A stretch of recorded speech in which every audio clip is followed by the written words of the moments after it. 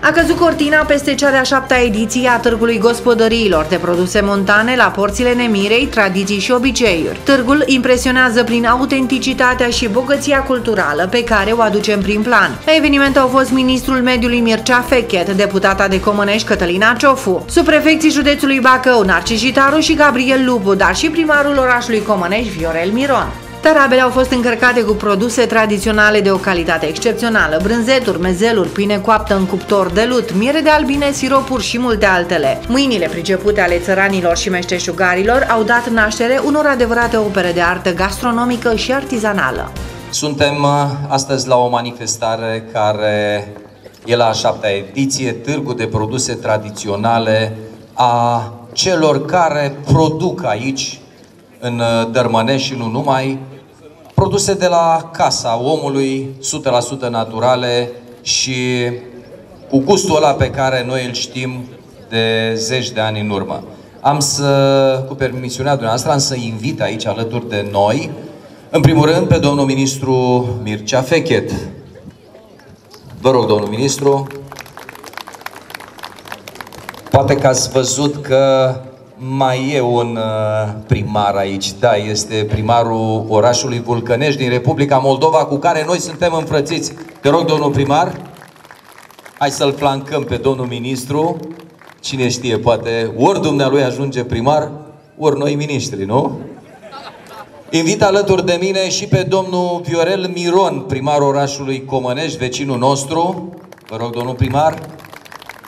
Domnul Viorel Cataramă, un um, vechi liberal și un om de afaceri cunoscut în România.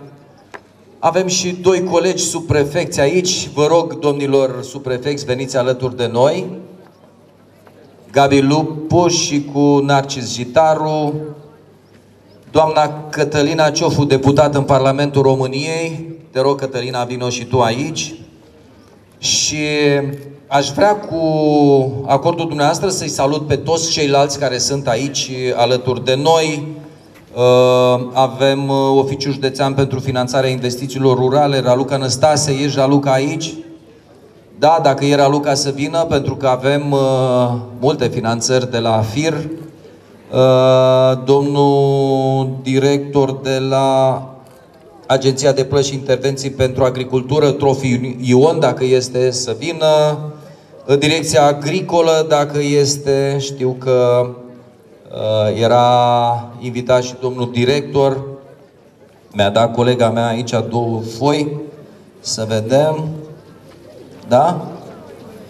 Domnul director de la Direcția Agricolă. Da?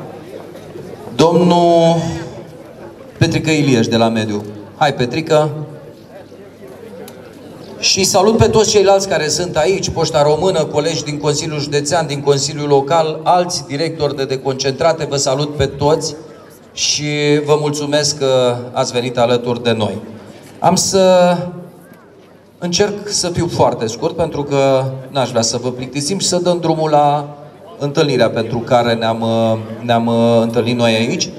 În primul rând, vreau să-i salut încă o dată pe prietenii noștri din Republica Moldova, da?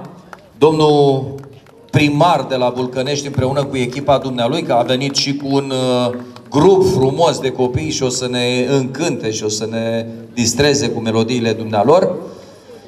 Aș vrea să mulțumesc celor care ați venit astăzi la standuri, pentru că știu că munca dumneavoastră de peste an e grea și astăzi ați venit să fiți alături de noi astăzi și mâine cu cele mai bune produse. Să știți că foarte mulți m-au întrebat dacă anul ăsta mai vin crescătorii de animale cu brânza, cu uh, telemeaua, cu dulcețurile pe care dumneavoastră le-ați făcut și dacă mai sunt aici și uh, ceilalți, să zic eu așa, uh, prezentatori. Am să-i rog în aplauzele dumneavoastră să invităm și o parte din oierii noștri, îmbrăcați așa frumos cu cojoacele lor.